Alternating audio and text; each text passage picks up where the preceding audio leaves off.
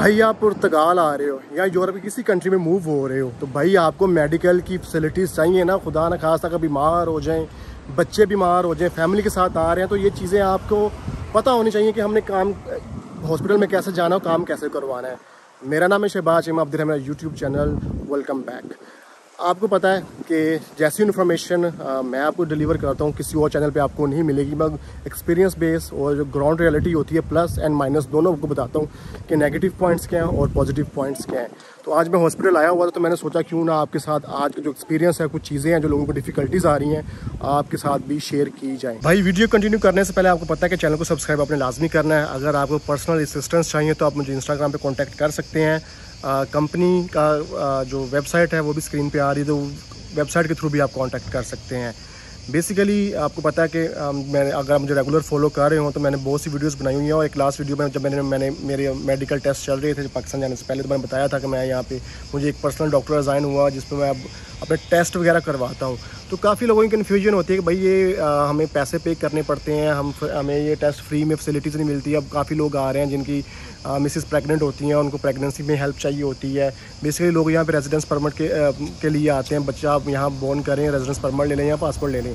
तो काफ़ी ज़्यादा चीज़ें जो कन्फ्यूज़ करने वाली हैं। हर बंदे का अपना एक सोच होती है एक पॉइंट ऑफ़ व्यू होता है। तो मैं आप जो मेरे पर्सनल एक्सपीरियंस गुजर चुके हैं मैं वो आपके साथ शेयर करता हूँ। सबसे पहले मैं अपना पर्सनल एक्सपीरियंस शेयर करता हूँ। इस कंट्री में अगर आप पर्सनल डॉक्टर या पर्सनल चेकअप के लिए आपको कोई चीज़ आपने करनी फॉलोअप करना है तो भाई आपको उस पर टाइम लगता है। जैसे मैंने अपनी रजिस्ट्रेशन जब करवाई थी अपने मेडिकल सेंटर के अंदर तो मुझे छः महीने बाद की अपॉइंटमेंट मिली थी कि आपके छः महीने बाद डॉक्टर के साथ आपकी अपॉइंटमेंट है और फिर वो डॉक्टर आपका जो भी करेगा, वो उससे कंसल्ट करके उसके बाद आपके टेस्ट वगैरह होंगे।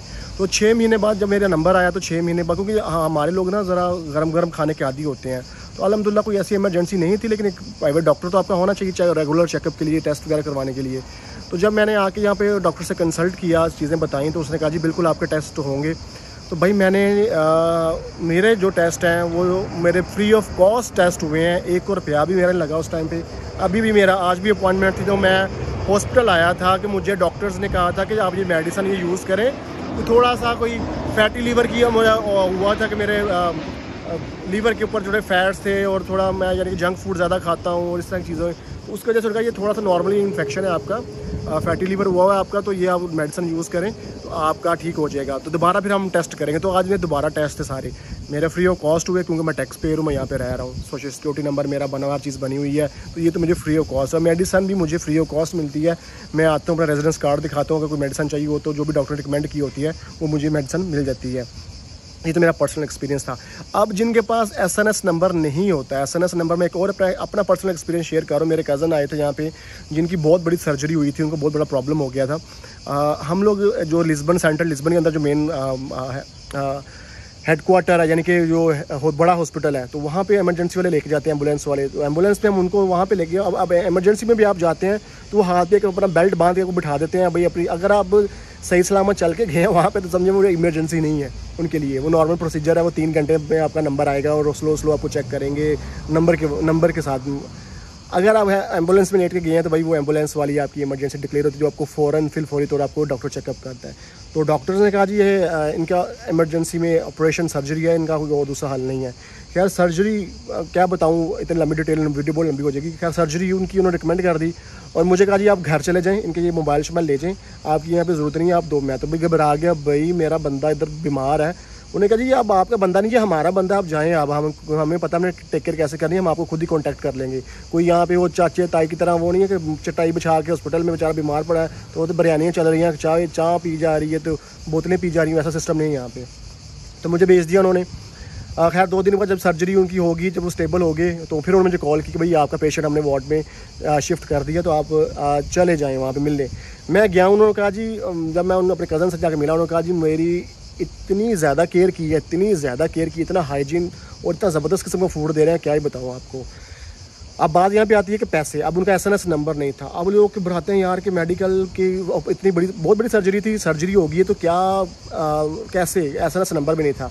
जब आपका एस नंबर ना बना हो तो फिर आपको कुछ ना कुछ कॉस्ट पे करनी पड़ती है।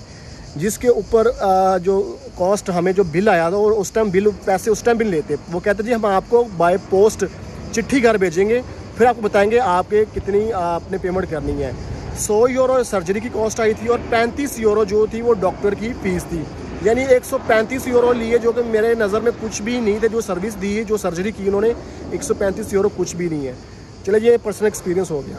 अब बात करते हैं प्रेगनेंसी वालों की। प्रेगनेंसी वालों का सीन ये है कि भाई, जब आप यहाँ पे आते हैं ना, सबसे पहले अगर तो आपका ये सीन ऐसा है तो आप आने से पहले अपना S N S number sorry अपना नेफ नंबर और निस नंबर अपना इशू करवा के आएँ, ताकि आते ही आपका एस एन एस नंबर बन जाए और आप अपनी मिसिस को अपना चेकअप करवा सकें, जो नियरेस्ट जो भी आपका हॉस्पिटल है या जिस एरिया में रहते हैं, हर एरिया के अंदर मेडिकल सेंटर्स होते हैं, वहाँ पे आपको सेंटर द सूद बोलते हैं, उसको वहाँ पर रजिस्टर होना पड़ता है। फिर वो आपको टेम्परेरी एस नंबर भी इशू कर देते हैं और आपका एक बुक ग्रीन बुक बोलते हैं, वो बन जाती है तो आपका चेकअप भी स्टार्ट हो जाता है। तो भाई आपका चेकअप स्टार्ट हो जाएगा। अब यहाँ पे कई लोग कहते हैं, आपके टेस्ट फ्री नहीं होंगे, आपका ये नहीं होगा। देखें इन कंट्री का लॉ ये है कि अगर आप तीन महीने पुराने हैं तो आपका जो है सोशल सिक्योरिटी आपकी हेल्प करेगी। अगर आप तीन महीने आपके नहीं हुए अभी यहाँ पे, आपको, क्योंकि तीन महीने तक ये बंदे को यहाँ पे एज अ टूरिस्ट ही कंसीडर करते हैं। तीन तीन महीने के बाद फिर आप सही इमिग्रेंट्स हो जाते हैं, फिर आपको इमिग्रेंट्स वाली चीज़ फैसिलिटीज़ मिलना शुरू हो जाती हैं। तो कई हॉस्पिटल वाले आपको ये तंग करेंगे बा आपका तीन महीने पूरे नहीं हुए तो हम आपको कोई फैसिलिटी नहीं देंगे, आपको पे करना पड़ेगा। तो अगर आपको पे करना भी पड़े कुछ ना तो कुछ ना कुछ तो आपको ज़्यादा पेमेंट नहीं देनी पड़ती। थोड़ी बहुत जैसे मैंने कहा, बहुत बड़ी सर्जरी हुई थी, सौ यूरो लगा हमारा और पैंतीस यूरो डॉक्टर के। तो डिलीवरी के अंदर भी जब आप बच्चे की बर्थ होती है डिलीवरी होती है तो उसके अंदर भी सौ डेढ़ सौ यूरो खर्चा आता है, इससे ज़्यादा खर्चा नहीं आता। घबराने वाली बात नहीं है। काफ़ी लोग आ रहे हैं जिनको ये प्रॉब्लम हो रही है, लेकिन बेहतर है कि आने से पहले अपने जो टैक्स नंबर जो है वो इशू करवाएँ। आपका फिनांस नंबर आप ऑनलाइन ऑप्टेन कर सकते हैं लॉयर के थ्रू आप अपना एसएनएस नंबर लॉयर के थ्रू बनवा सकते हैं। अब ये नहीं एडवाइस कर रहा मैं आपको कि भाई आप इस तरह जो है ना इस पर्पज़ के लिए आए कि आप डिलीवरी करवाएँ, लेकिन आपको एक हल बता रहा हूँ कि काफ़ी लोगों को नॉलेज नहीं है, कोई गाइड करने वाला नहीं है। आप अपना होमवर्क करके आएँ ताकि आपको आती है, आपको प्रॉब्लम्स फेस ना करनी पड़े, आपको धक्के ना खाने पड़े, क्योंकि यहाँ पर सिस्टम है थोड़ा स्लो है। तो ये था जी आज का एक छोटा सा व्लॉग इन्फॉर्मेशन देनी थी आपको इस चीज़ के बारे में। उम्मीद करता हूँ काफ़ी चीज़ें आपकी क्लियर हो गई होंगी, काफ़ी कॉन्सेप्ट आपके क्लियर हो गए होंगे इस वीडियो के अंदर। अपना बहुत सारा ख्याल रखेगा वन मिलियन हमने करने हैं वन मिलियन आपने करवाने हैं। भाई, आपके इतने एफर्ट्स करके आपको इन्फॉर्मेशन प्रोवाइड करता ये तो चैलेंज मैं करता हूँ कि ऐसी, जैसी इन्फॉर्मेशन मैं दे रहा हूँ ग्राउंड रियलिटी के ऊपर वो कोई भी नहीं देगा आपको। अपना बहुत सारा ख्याल रखिए। मिलते हैं नेक्स्ट वीडियो के अंदर जी। अल्लाह हाफिज़।